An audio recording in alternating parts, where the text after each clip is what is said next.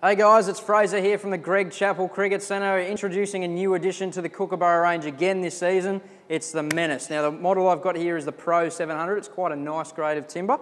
Now this bat is aimed at those that like to play square of the wicket. So the cuts and pull shots, it is a higher blade, so it's a slightly higher middle than some of the others like the Raptor, um, especially the Kahuna. It's a little bit higher than that. Um, and the main focus for Kookaburra on this one is to keep the weights down. Now, sometimes some manufacturers um, try and get the bats heavier but give them a, a high middle because it makes them pick up lighter.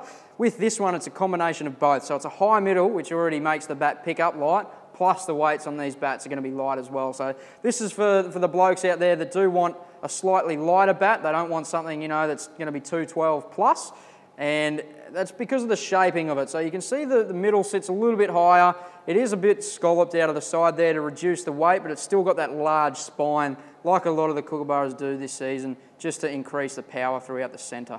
So we'll give it a bit of a hit now, and again, you'll be able to see where the middle is, and you'll be able to tell the noise and how nice it sounds out of the centre of the bat there, especially up higher where it's designed to hit the ball. So usually you don't get too much punch out of, the, out of something that high, but because this is a higher middle bat, it's quite forgiving up there and you do get a quite a, a large range of power.